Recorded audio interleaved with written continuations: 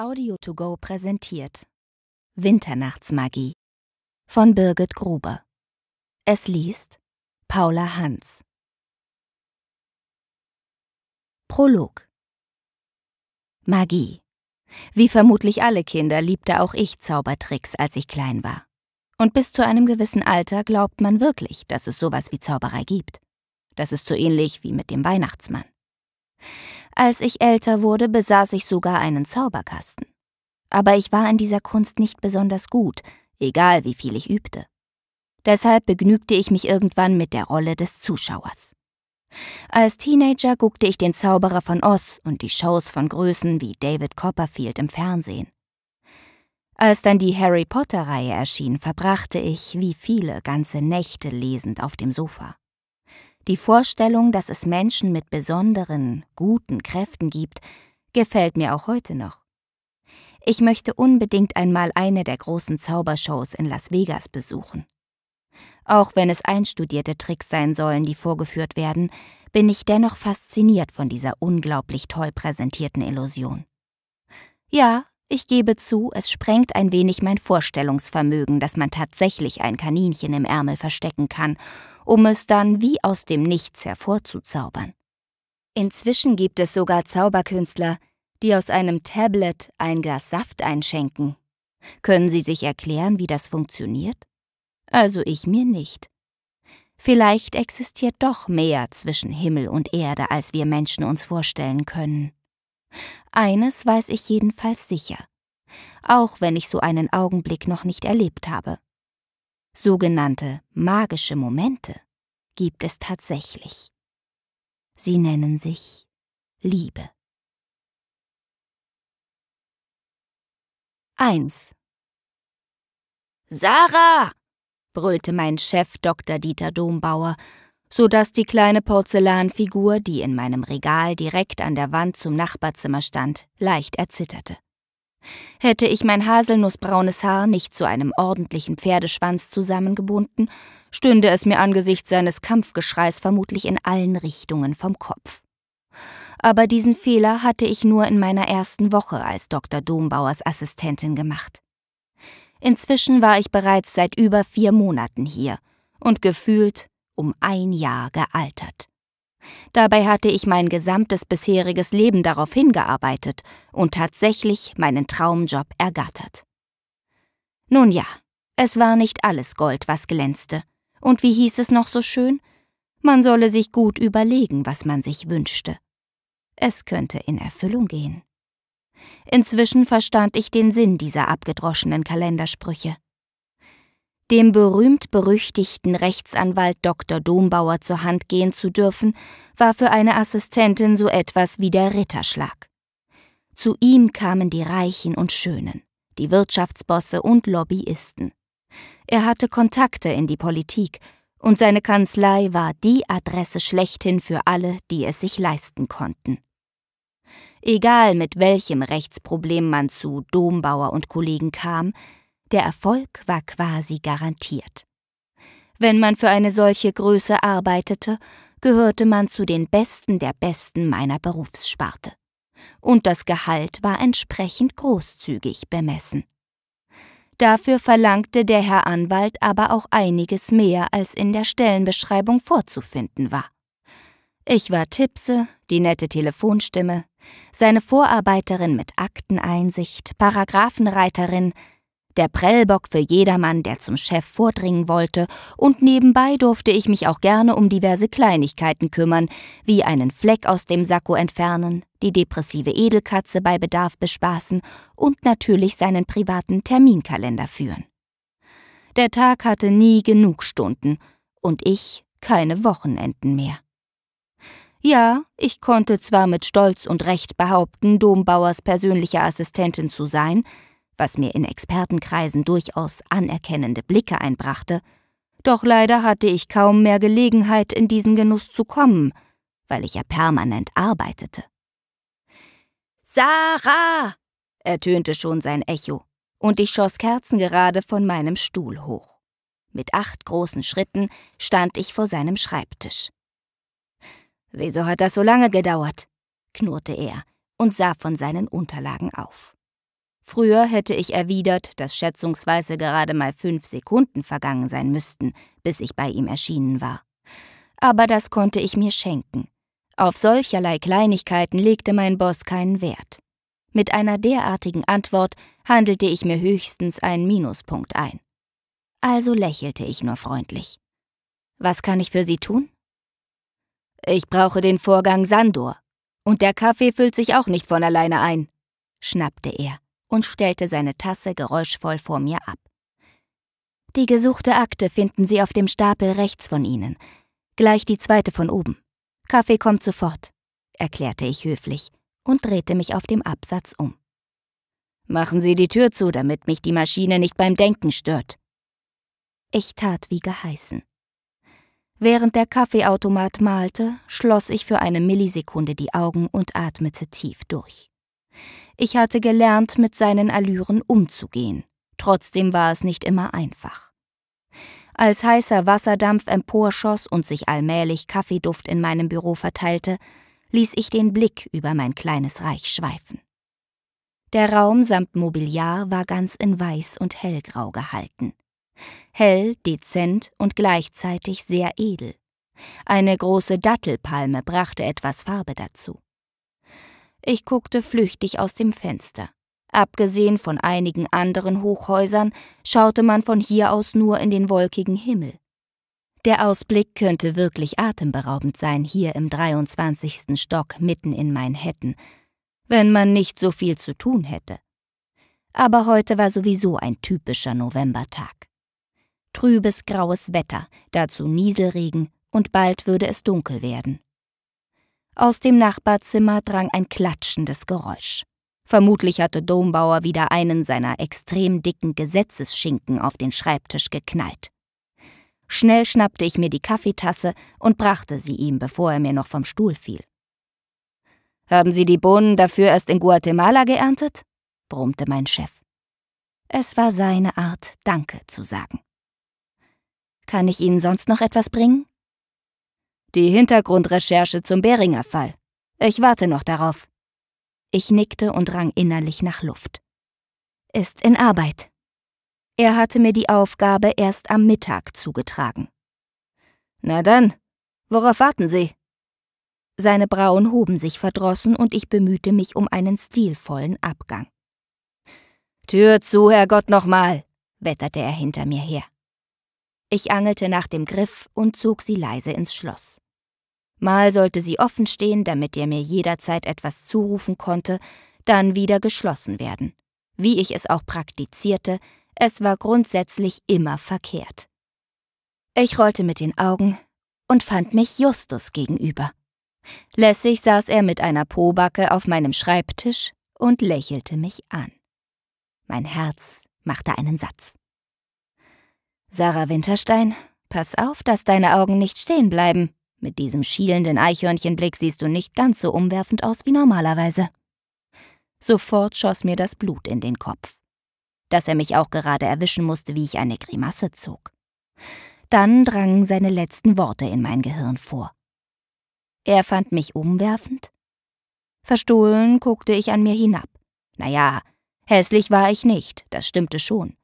Meine Taille konnte sich durchaus sehen lassen in dem schicken Businesskostüm in dunkellila.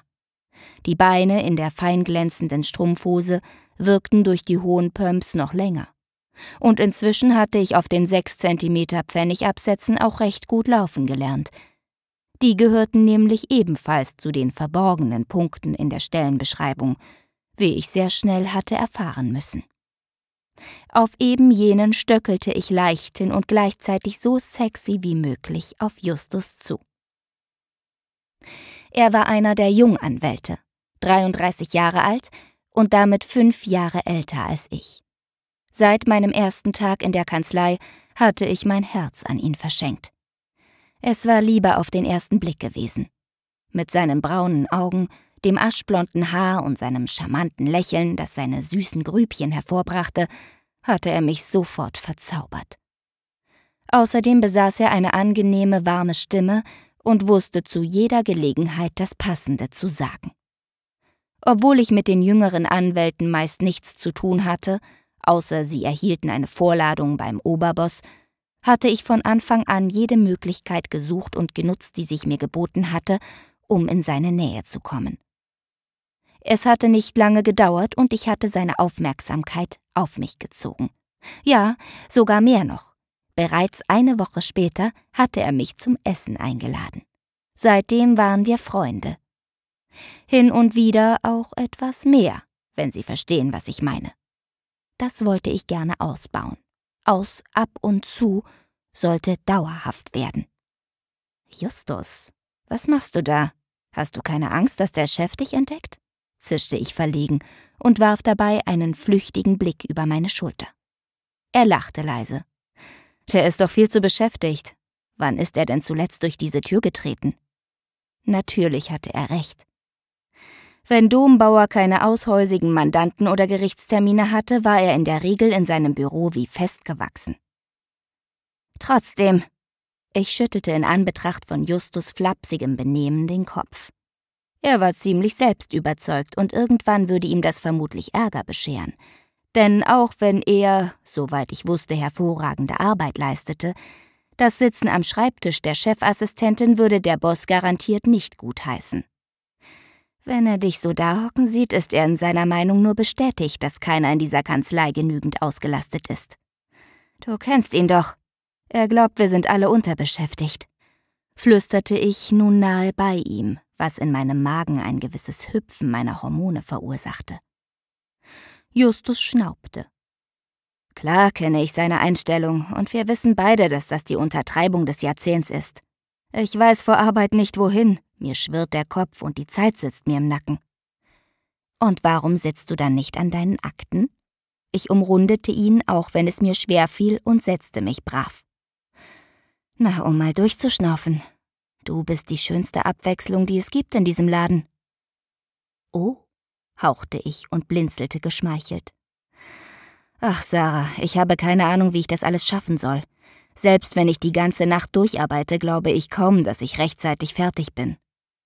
Justus seufzte und fuhr sich erschöpft durch sein fülliges Haar.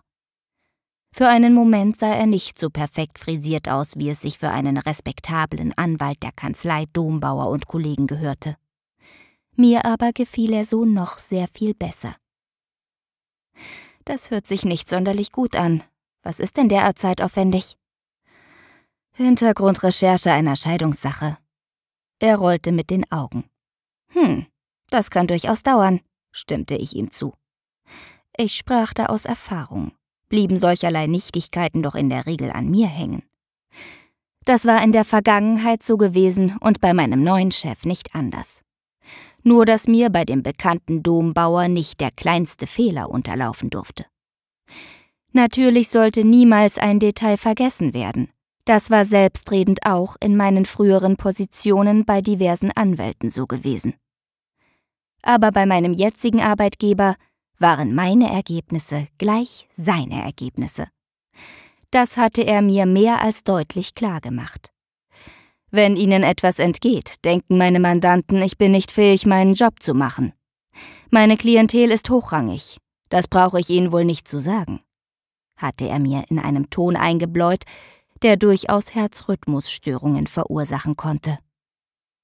Was übersetzt so viel hieß, dass ich vermutlich mit einer Kündigung, mindestens aber mit einer Abmahnung rechnen musste, falls, ich betone falls, mir jemals sowas passieren würde. Ich sah Justus an und überlegte, ob er auch einmal so werden würde. Er stand noch ganz am Anfang seiner Karriere, musste sich alles selbst erarbeiten. Aber irgendwann würde er ebenfalls eine Assistentin bekommen. Was ist? Was geht in deinem hübschen Köpfchen vor? fragte er prompt. Ähm, ich dachte nur gerade. Fieberhaft überlegte ich, was ich antworten könnte.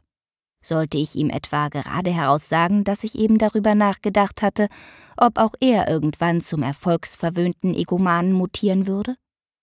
Außerdem konnte ich mir das bei Justus gar nicht vorstellen. Er war viel zu nett dafür. Und während ich noch darüber sinnierte, bekamen seine Augen einen besonderen Glanz. Sein Gesicht hellte sich auf und sein verführerischer Mund öffnete sich.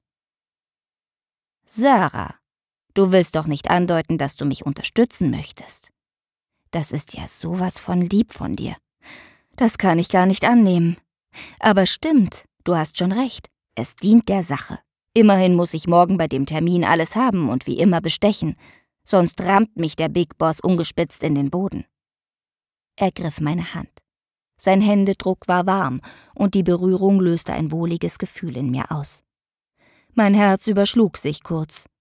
Bis ich mich wieder unter Kontrolle hatte, sprang Justus auf und jubilierte bereits. Du bist wirklich die Beste. Er setzte dazu an, mich zu umarmen, unterließ es dann jedoch. War wahrscheinlich auch besser so. Immerhin waren wir hier im Büro. Hier sollte niemand wissen, ob oder was da privat zwischen uns lief. Ich lasse dir gleich alles Nötige zukommen. Wenn du es bis spätestens abends um neun fertig hast, kann ich es ohne Probleme noch mit in meine Vorbereitungen einbauen. Danke, Sarah, rief er aufgeregt und eilte zurück in seine eigenen Räume. Völlig verdattert starrte ich ihm hinterher und versuchte zu begreifen, was da gerade passiert war. Oh Mann, Sarah, warum tust du dir das nur an? wollte meine Freundin Katja wissen. Wir waren für den Abend in unserem Stammbistro verabredet gewesen. Schon vor über zwei Stunden. Aber es war weit nach neun Uhr geworden, bis ich endlich eingetroffen war. Mit schwirrendem Kopf hatte ich mich in die Nische neben sie gedrückt. Es herrschte reges Treiben in dem gemütlichen Lokal. Stimmengemurmel untermalt von hipper Musik erfüllte den Raum. Es wurde getrunken, gegessen und gelacht. Sofort wurde mir warm. Nach der Kühle der Nacht spürte ich die Hitze, die hier drin herrschte, umso mehr. Ich riss mir meinen Schal vom Hals und streifte meinen Mantel ab. Als ich mich gerade in meiner selbstgewählten Zwangsjackenstellung befand, trat Luke, unser Kellner des Abends, an den Tisch. Hey Sarah, was kann ich dir bringen? Ähm, ich hielt in der Bewegung inne und schielte auf die Karte, die vor mir lag. Da meine Arme noch gefangen waren, reckte ich das Kinn, um einen besseren Blick zu erlangen. Luke wartete und gluckste leise. Dass er dabei ständig seinen Kugelschreiber klicken ließ, untermalte die Situation noch. Ich schüttelte leicht den Kopf. Die Karte kannte ich so ziemlich auswendig, jedenfalls die Gerichte, die ich meistens aß. Eine Weißweinschorle und die Pasta Arabiata, orderte ich ergeben. Also wie immer. Luke nickte. Ja, ich seufzte. Warum hatte ich gerade jetzt etwas anderes wählen wollen? Immer noch ein wenig verpeilt, schälte ich mich aus dem Mantel und schob ihn heftiger als nötig in die Ecke. Katja grinste. Er kann nichts dafür, dass du dich mal wieder hast einspannen lassen, wies sie mich zurecht. Was heißt denn wieder? Na, das ist doch nicht das erste Mal, dass Justus dich seine Arbeit machen lässt. Ich starrte meine Freundin an. Nein, das zweite Mal. Und ich habe ihm meine Hilfe angeboten. Das ist ein Unterschied, findest du nicht? Katja zuckte mit den Schultern. Dann kann ich dir nur den Tipp geben, es nicht zur Gewohnheit werden zu lassen. Ich grummelte etwas in meinen nicht vorhandenen Bart. Sarah, ich meine es doch nur gut. Meine Freundin legte vertraulich ihre Hand auf meine. Seitdem du in dieser Top-Kanzlei arbeitest, erkenne ich dich kaum mehr. Wir sehen uns so selten. Du ackerst wie ein Tier. Hast eigentlich nie Zeit. Du wirkst müde und abgespannt. So ist das eben, wenn man die Chefassistentin eines Dr. Dieter Dombauer ist, verteidigte ich mich. Aber ihre Worte berührten mich. Sie hatte nicht Unrecht. Mein Privatleben war in den letzten Monaten weitestgehend zum Erliegen gekommen. Und auch heute, jetzt, säße ich nicht hier, wenn Katja nicht derart vehement darauf bestanden hätte, dass wir unsere Verabredung einhielten. Und? Ist es das wert? Sie musterte mich angestrengt. Ja, ich denke schon. Also ich bin mir da nicht so sicher. Wenn ich das gewusst hätte, hätte ich dir von dem Job niemals erzählt und schon gar kein gutes Wort für dich eingelegt. Was wird das hier? Ein Verhör? Eine Standpauke? Ich zog meine Hand weg und schnappte mir das Glas, das Luke eben in diesem Moment brachte. Essen kommt gleich, sagte er. Doch der Appetit war mir irgendwie vergangen. Stattdessen genehmigte ich mir einen großen Schluck von der Weinschorle. Ich mache mir doch nur ein wenig Sorgen um dich, beteuerte Katja indes. Ich schnaufte. Ja, das wusste ich. Wir waren Freundinnen seit dem Kindergarten. Wir hatten miteinander die Schulbank gedrückt, unseren ersten Liebeskummer geteilt, waren immer füreinander da. Wir hatten nie den Kontakt verloren, auch nachdem sich unsere Lebenswege getrennt hatten. Zu Anfang hatten wir uns sogar beide für ein Jurastudium entschieden. Doch während ich mein erstes Staatsexamen abgelegt und mich für eine Karriere als Diplomjuristin entschieden hatte, hatte Katja bereits nach dem zweiten Semester lieber etwas Lebensnäheres angestrebt, das Studium geschmissen und war heute glückliche Besitzerin eines gut gehenden Fitnessstudios. Dort hatte sie auch von der Stelle bei Dombauer gehört. Ein paar unserer Anwälte trainierten nämlich regelmäßig bei ihr. Beim proteinhaltigen Drink an der Bar war es Katja zu Ohren gekommen, und da sie wusste, wie ehrgeizig ich war, hatte sie mir postwendend davon berichtet. Sobald klar gewesen war, dass ich mich beworben hatte, hatte sie selbstredend für mich die Werbetrommel an den entsprechenden Stellen gerührt.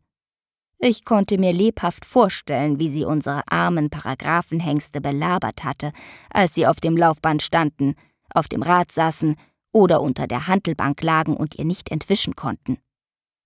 Ob es letztlich etwas zu meiner Einstellung beigetragen hatte, wusste ich nicht, glaubte es allerdings kaum. Dr. Dombauer war da sehr eigen. Er ließ sich bestimmt nicht reinreden. Also ich kann dir sagen, dass ich noch genug Arbeit rumliegen habe. Wenn du mich nur treffen wolltest, um mit mir zu schimpfen, dann hätte ich lieber was Sinnvolles gemacht, brummte ich verstimmt. Klar. Und weil du noch nicht genug zu tun hast, erledigst du jetzt auch noch den Job von Justus. Katjas Brauen zogen sich missmutig zusammen. Das habe ich dir doch schon erklärt. Er brauchte mich. Logisch. Was hat er nur gemacht, als du noch nicht da warst? Ich sah ihr geradewegs in die Augen. Warum magst du ihn nicht? Das würde ich so nicht sagen. Ich finde ihn durchaus nett. Er hat einiges auf dem Kasten, auch in sportlicher Hinsicht. Er kann sogar noch witzig sein, wenn er ein paar Kilos stemmt. Deshalb finde ich es auch nicht richtig, dass er dich für seine Zwecke einspannt. Er kann seinen Kram selbst erledigen. Aber ja, ja, ich weiß. Du bist von Natur aus hilfsbereit. Das war schon immer dein Problem. Ich erinnere mich da an Sebastian aus der Oberstufe mit dem treuen Hundeblick. Du hast ihm nicht nur Nachhilfe gegeben, sondern auch seine Aufgaben für ihn erledigt. Ohne dich wäre er wahrscheinlich durchgefallen. Sebastian war wirklich ein Fall für die Heilsarmee gewesen. Er war klein, schmächtig und mit Akne im Gesicht übersät gewesen. Hinter seiner Brille hatte er immer ausgesehen wie ein verschrecktes Reh. Wenn man ihn ansprach, war er grundsätzlich zusammengezuckt. Wie hätte ich ihm denn nicht helfen sollen? Ein Teller voll dampfender, heißer Pasta schob sich über die Tischplatte hinweg in mein Blickfeld. Guten Appetit, meinte Luke. Danke. Sprachlich war er eben nicht so bewandert, erklärte ich. Wie jetzt? Was erwartest du denn? Soll ich etwa sagen, Madame, ihr Essen, bon appetit? Mit besten Grüßen aus der Küche? antwortete er, weil er sich offenbar angesprochen fühlte. Irritiert sah ich auf, direkt in Lukes verstimmtes Gesicht. Auch Katja starrte ihn an. Dann lachten wir los. Ähm, das wäre wunderbar, aber mit einem guten Appetit bin ich durchaus zufrieden, erwiderte ich kichernd. Entschuldige, du warst gar nicht gemeint. Aha. Tja, dann lass es dir schmecken. Er schenkte mir noch einen misstrauisch verkniffenen Blick. Versöhnlich schnupperte ich. Hm, riecht toll. Das will ich meinen, brummte er und ging seines Wegs. Katja gluckste noch immer. Ich schaute sie an und griff nach meinem Besteck. Manchmal ist er eine echte Drama Queen, findest du nicht? Ihre Schultern zuckten. So sind sie, die Prinzen. Ich nickte und kam zurück auf unser Gespräch. Was ist eigentlich aus Sebastian geworden? Ich habe gehört, dass er ein Kellerbüro beim Straßenbauamt hat. Er sitzt wohl in einem Kämmerchen ohne Fenster und brütet über die Verbesserung der Verkehrslage. Aha, naja, passt irgendwie zu ihm. Knifflige Dinge mochte er schon immer. Möglich. Aber der Punkt ist doch, dass Sebastian nur einer von vielen war. Du hast ein Talent dafür, dich für andere aufzuopfern. Ich verschluckte mich fast. Eine unzerkaute Nudel wanderte gefährlich nahe in Richtung Luftröhre. Ich schlug mir die Hand vor den Mund und würgte verstohlen, während ich überlegte, ob schon einmal jemand an einer Rigatoni erstickt war. Sie starb den Nudeltod, zog schon die Schlagzeile vor meinem inneren Auge auf. Wie peinlich war das denn? Das klingt ja, als wäre ich Mutter Teresa. Ich keuchte schließlich und ließ die widerspenstige Nudel einen Salto über meine Zunge schlagen. Das bin ich keinesfalls, schob ich dann mampfend hinterher. Ich hatte mich eben immer ziemlich leicht mit dem Lernen getan und wollte keinesfalls als Streberin dastehen. Deshalb hatte ich seit jeher versucht, anderen, die nicht so gut waren, zu helfen. Das stimmt. Ich würde dich viel eher als zu gutmütig bezeichnen. Katja grinste schief. Geht's wieder? Ja, knurrte ich, endlich wieder mit leerem Mund. Sarah, ich mache mir doch nur Sorgen, dass Justus dich ausnutzen könnte. Tut er nicht, beharrte ich vehement. Er ist ein anständiger Kerl mit viel Arbeit, das ist alles. Und bei Dombauer nichts Ungewöhnliches. Die Junganwälte müssen sich beweisen. Er will gut sein. Das ist doch nichts Verwerfliches. Und er kann so süß sein und so aufmerksam. Ich hab dir doch erzählt, dass er mir sogar Pralinen mitgebracht hat, nur weil ich mal ein paar Kleinigkeiten für ihn erledigt habe geriet ich ins Schwärmen und seufzte. Katja hingegen rollte mit den Augen. Doch bei dem Gedanken an Justus bekam ich das nur ganz am Rande mit. Er hat diesen speziellen Blick, mit dem er Eisberge zum Schmelzen bringen kann. Da hat die Gegenseite gar keine andere Wahl, als auf seine Forderungen einzugehen. Ja, und du auch nicht, wie es aussieht. Ich kenne ihn, Du musst ihn mir also nicht anpreisen. Ebenso ist mir klar, dass da was zwischen euch läuft. Und du weißt, dass ich dir von Herzen die große Liebe wünsche. Aber Justus ist. Was? schnappte ich. Katja spielte mit dem Glas in ihren Händen. Bist du sicher, dass er es ernst meint? fragte sie vorsichtig. Ich dachte daran, wie lange ich ihn kannte. Vier Monate, in denen wir ausgegangen und im Bett gelandet waren, in denen er mich zum Lachen gebracht und verstohlen mit mir in der Kanzlei geflirtet hatte. Eine richtige Beziehung war daraus bislang nicht entstanden. Justus meinte, es wäre nicht der Zeitpunkt für treue Versprechen oder Zukunftspläne. Und ich hatte ihm durchaus zugestimmt. Immerhin war ich noch in der Einarbeitungsphase und Probezeit. Er hingegen steckte andauernd knietief in irgendwelchen Fällen. Wir hatten kaum Gelegenheit, uns in entspanntem Umfeld zu sehen. Doch für ein bisschen Spaß hin und wieder reichte es. Das letzte Mal hatten wir uns vergangene Woche privat getroffen. Als ich da eine Andeutung hatte fallen lassen, dass wir allmählich doch quasi ein Paar geworden seien, hatte er gar nicht reagiert. Aber das würde ich Katja bestimmt nicht auf die Nase binden. Wir sind junge, aufstrebende Menschen, die im Leben etwas erreichen wollen. Da stört eine feste Bindung bloß wiederholte ich deshalb Justus Worte. Es klang gut in meinen Ohren, karriereorientiert, erfolgreich. Und doch hatte die Aussage einen etwas faden Beigeschmack, wie ich nun feststellte. Meiner Freundin entging es vermutlich ebenso wenig, doch sie kommentierte es nicht. Stattdessen drückte sie meinen Arm. Wir kennen uns seit Ewigkeiten. Du bist eine hoffnungslose Romantikerin. Ich wünsche dir, dass du dein Glück findest. Ich weiß. Genauso wie ich wusste, dass sie nicht daran glaubte, dass Justus der Richtige für mich war. 2. Othello, nun friss doch bitte. Verzweifelt lief ich dem Kater mit seinem edlen Porzellanschälchen hinterher. Er schaute mich kurz an, bevor er sich umdrehte und weitertrabte, geradewegs auf die weiße Sofalandschaft zu. Meine Hoffnung, dass er seinen Katzenbaum anpeilte, der direkt daneben stand, erstarb, als er geschmeidig auf die Sitzpolster hüpfte und über das Eckteil dahinter in die Tiefe verschwand. Mit dem Schüsselchen in der Hand schmiss ich mich auf die Couch und lugte in das dunkle Dreieck auf dem Boden. Othello, komm da raus, bettelte ich und hielt seinen Fressnapf etwas tiefer in sein Versteck. Riech doch mal, das ist Ente in feiner Sahnesoße. Er ignorierte mich, schaute nicht nach oben, sondern stur auf die Wand. Hätte ich nicht gewusst, dass er da unten hockte, man hätte ihn fast nicht gesehen. Nur die cremeweißen Fellflecken ließen vermuten, dass da etwas lag. Oder saß. Othello war Dr. Dombauers Perserkater. Ein stattliches Tier mit braunbeiger Farbmaserung. Kopf, Pfoten und Schwanz waren dunkelbraun, der Rest seines Körpers cremefarben. Seine Augen hellblau.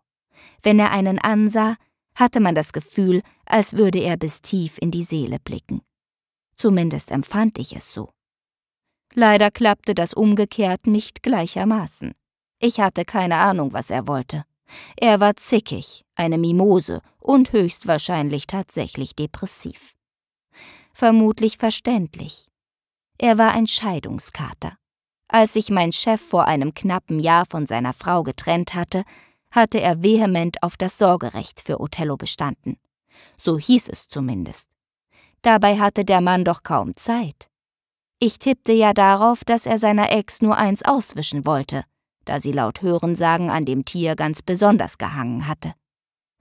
Dombauer mit Schmusekatze konnte ich mir jedenfalls nur schwerlich vorstellen. Oder saß er abends heimlich auf der Couch wie der Bösewicht aus dem James Bond-Klassiker mit Othello auf dem Arm? Ich gluckste. Das war natürlich eine Möglichkeit. Dr. Dombauer sah zwar nicht böse aus, aber er konnte durchaus zornig herumschreien. Dann verfärbte sich sein Gesicht immer so ungesund rot. Dagegen aber sprach, dass ich noch nie auch nur ein einziges Katzenhaar an seinem Anzug hatte erkennen können. Naja, er war auch ein Pedant. Ich schaute mich in dem großzügigen Wohnzimmer um. Alles wirkte pingelig sauber was wohl ein wenig mit der Einrichtung zusammenhing. Abgesehen von dem dunklen Holz des Schreibtisches und der Schrankwand erstrahlte alles Übrige in Weiß. Auch die Küche war klinisch bleich. Dass ich nicht geblendet wurde, lag lediglich daran, dass es draußen heute so trüb war.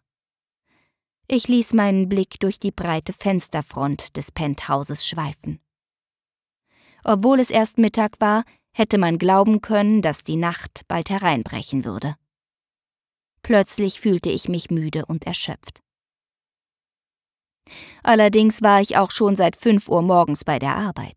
Da ich gestern Justus geholfen und Katja nicht hatte versetzen wollen, hatte ich meine eigenen Aufgaben nicht mehr fertigbringen können. Für meinen Chef waren persönliche Gründe jedoch niemals der Rede wert. Er erwartete meine Ausführungen zum Fall Sandor pünktlich um neun auf seinem Schreibtisch. Deshalb war meine Nacht kurz gewesen und ich schon vor dem Morgengrauen vom Bett zu meinem Küchentisch gekrabbelt, auf dem Laptop und sämtliche Unterlagen verstreut waren. Da ich, seitdem ich bei Dombauer und Kollegen tätig war, nicht mehr gekocht hatte, war der Raum von mir nach und nach zum anderweitigen Arbeitsplatz umfunktioniert worden. Ein leises Geräusch erinnerte mich wieder an meine Aufgabe. Ich schaute zurück in die dunkle Ecke und wollte den Kater nochmals rufen. Doch genau in dem Augenblick sprang er hoch, stieß mit dem Kopf gegen die flache Schüssel, die ich noch immer lockenderweise darüber hielt, so dass sie mir aus der Hand glitt. Ich purzelte nach hinten, die Schale schlug einen Salto und die Filetstückchen in Sahnesoße verteilten sich in hohem Bogen in alle Richtungen über die Sofalehne. Othello musste indes wie ein Ping-Pong-Ball zurück auf den Boden getanzt sein, um gleich darauf einen zweiten Befreiungsversuch zu starten, der ihm diesmal gelang. Unsanft landete er genau auf meiner Magengrube. Leicht benebelt starrte ich ihn an. Er stierte zurück. Seine Schnurhaare vibrierten und für eine Millisekunde hätte ich schwören können, dass er mir zuzwinkerte. Doch Katzen konnten weder lächeln noch absichtlich zwinkern. Trotzdem fand ich, dass er zufrieden wie nie aussah, als er über mich hinwegspazierte und sich auf seinem Kratzbaum niederließ. Ich rappelte mich auf und inspizierte die Bescherung. So sah also Katzenspaß aus? Ein Teil des cremefarbenen Couchbezugs war nun mit bräunlichen Fleischflöckchen gespickt. Auch auf meinem grünen Bleistiftrock fand ich ein paar Spritzer wieder. Der Porzellannapf schien in der Ecke hinter dem Sofa gelandet zu sein. Ich stöhnte. Was war das denn? Hast du das mit Absicht gemacht? fragte ich das Tier, das jetzt vollkommen entspannt auf seinem Hochsitz lag. Mit spitzen Fingern klaubte ich sein Futter von meiner Kleidung und stand auf. Da klingelte mein Handy. Sofort bildete sich in meinem Magen ein Eisblock. Das konnte nur Dombauer sein. Zögerlich schaute ich mich im Zimmer um. Hatte der Mann hier etwa Kameras eingebaut? Überwachte er, was ich in seinen Räumen tat? Und hatte er nicht nur unseren dämlichen Zusammenstoß miterlebt, sondern auch schon die Sauerei entdeckt, die dabei entstanden war? Erst jetzt wurde mir das Ausmaß unseres kleinen Unfalls bewusst. Dombauer würde ausflippen, wenn sein klinisch sauberes Zuhause durch meine Wenigkeit verunreinigt wurde. Dabei war ihm garantiert völlig egal, dass sein kleiner Liebling im Grunde der Schuldige gewesen war. Mit wildem Blick suchte ich die Zimmerecken nach Überwachungskameras ab, bevor ich die Schweinerei auf der Wohnlandschaft ins Auge fasste, bis das unaufhörliche Bimmeln meines Handys gefühlt immer lauter wurde. Also wandte ich mich ab und eilte in die Küche. Auf der leeren und auf Hochglanz polierten Anrichte lag das sturmklingelnde Ding. Natürlich war es mein Chef, der mich zu sprechen wünschte. Schnell wusch ich mir die Hände, bevor ich endlich das Gespräch annahm. Wo sind Sie? donnerte er los, kaum dass ich das Telefon an mein Ohr hielt. Bei Ihnen. Wollen Sie jetzt witzig sein? Ähm, nein, es ist die Wahrheit. Ich lehnte mich gegen die freistehende Kochzeile und betrachtete mein verzerrtes Gesicht in der Glastür direkt gegenüber. Ich hatte schon besser ausgesehen, stellte ich dabei missmutig fest. Ich sehe Sie aber nirgendwo, bellte Dombauer. Bringen Sie mir die Vermögensaufstellung der Billas. Sofort. Ich atmete tief durch. Herr Dombauer, das mache ich selbstverständlich als erstes, wenn ich wieder zurück bin. Aha, rief er wie aus der Pistole geschossen als hätte er mich ertappt und dingfest gemacht. Sie sind also doch nicht da. Jetzt bin ich aber froh, sonst hätte man mich nur noch für unzurechnungsfähig erklären können, was? Das konnte man hin und wieder tatsächlich in Betracht ziehen, dachte ich bei mir. Wenn er diese Art an den Tag legte. Die mochte vor Gericht oder bei Prozessgegnern gefürchtet und durchaus zielführend sein, doch im Alltag war sie schlichtweg am Rande des Erträglichen. Ich füttere gerade Othello, so wie Sie es wollten, erinnerte ich ihn. Othello? fragte er zurück, ganz so, als müsste er erst überlegen, wer das sein sollte. Und was dauert da so lange? brummte er dann eine Nuance gnädiger gestimmt. Hat er sie um ihren hübschen Finger gewickelt? Singen Sie ihm noch ein Schlaflied oder was? Sie sollen ihn zum Fressen bringen, das ist alles. Wenn Sie damit schon überfordert sind, muss ich mir das mit Ihrer Probezeit nochmal überlegen. Sofort spannten sich meine Schultern an, und ich richtete mich gerade auf. Dabei konnte er mich doch gar nicht sehen. Die Idee mit den Überwachungskameras war bestimmt nur ein wenig paranoid von mir. Ganz im Gegensatz zu meiner Einschätzung seiner Reaktion sein verschmutztes Sofa betreffend. Diesbezüglich konnte ich bereits jetzt schon seinen cholerischen Anfall bildlich vor mir sehen.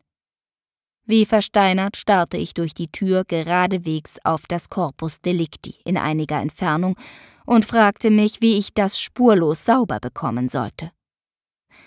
Ich bin eigentlich schon auf dem Rückweg, wollte ich sagen. Doch er unterbrach mich, brummte Moment und drückte mich weg. Mozarts fünfte Symphonie dudelte in mein Ohr. Und die entspannenden Klänge wirkten in diesem Moment irgendwie surreal auf mich.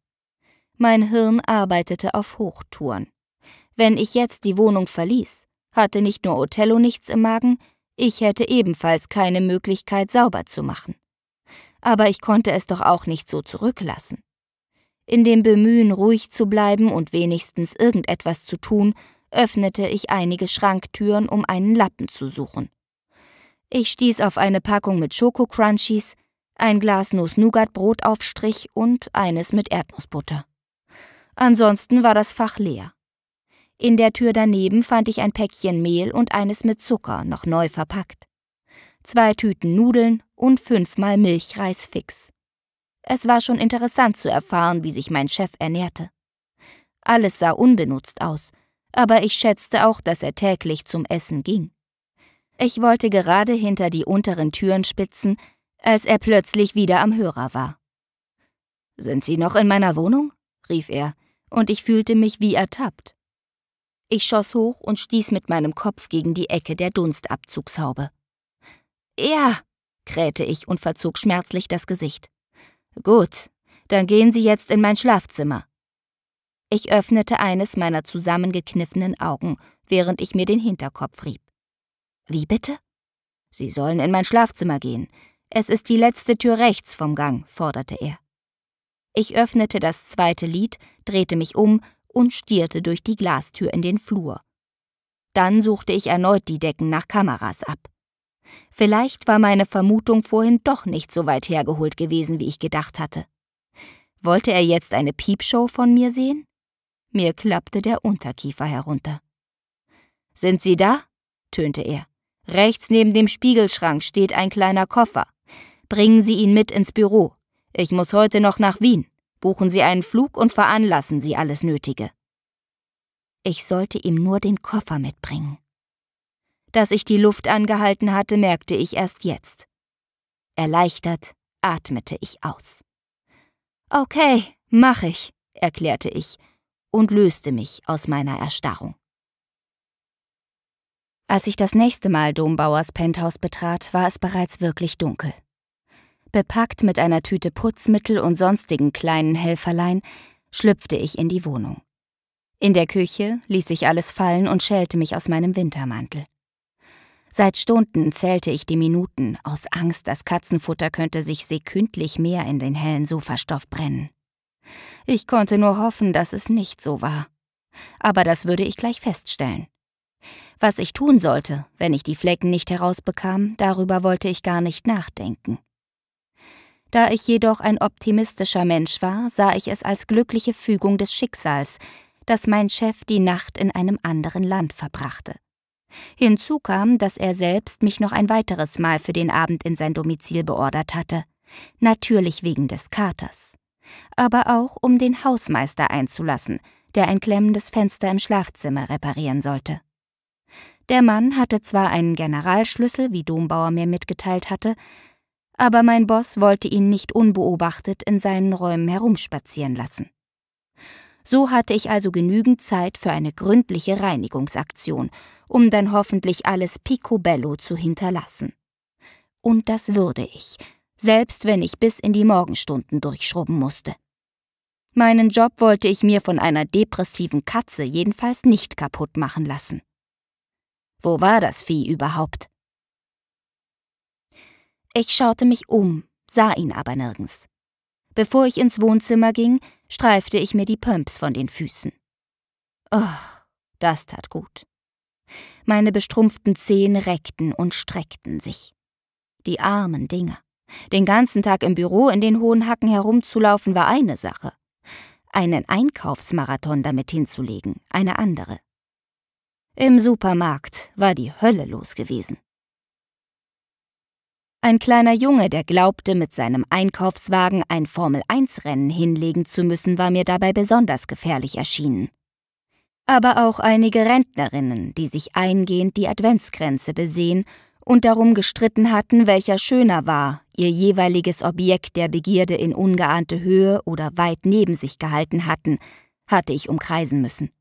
Und obwohl ich gedacht hatte, ich hätte einen großen Bogen in ausreichendem Abstand um die Damen gezogen, hatte es eine von ihnen doch geschafft, mir einige Fichtenzweige ins Gesicht zu schleudern. Die Frau hatte es kaum bemerkt, meine linke Wange, die nun ein paar Kratzspuren aufwies, dafür umso mehr. Erst da war mir bewusst geworden, dass Weihnachten vor der Tür stand und der erste Advent schon am Sonntag war. Einen Moment lang war ich stehen geblieben und hatte überlegt, mir selbst einen Kranz mitzunehmen. Denn ich liebte Weihnachten. Eigentlich. Aber seitdem ich meinen Traumjob hatte, schien sich die Welt in gewisser Weise ohne mich weiterzudrehen. Ich arbeitete nur noch. Wie konnte ich denn um Haaresbreite Weihnachten verpassen? Meine Freundin Katja war plötzlich vor meinem inneren Auge aufgetaucht, die mir seit Wochen predigte, dass ich kaum noch ein eigenes Leben besaß. In diesem Moment war mir zum ersten Mal richtig klar geworden, dass sie recht hatte. Als das nächste Adventsgesteck gefährlich in meine Nähe gerückt war, hatte ich schon dankend danach greifen wollen, doch ich hatte ehrlich bezweifelt, dass es sich um eine aufmerksame Geste handelte. Die Frauen waren sich nach wie vor uneins gewesen. Vielleicht hätten sie es in ihrem Eifer gar nicht gemerkt, wenn ich das Ding gegriffen und in meinen Wagen gelegt hätte. Vielleicht aber doch. Und dann wären sie höchstwahrscheinlich wutentbrannt auf mich losgegangen. Damit hatte man definitiv rechnen müssen, wenn man sich das Spektakel so angesehen hatte. Also hatte ich es lieber sein lassen und war stattdessen zur Kasse gestiefelt. Wegen Othello musste ich mein hart verdientes Geld jetzt auch noch in Putzmittel investieren.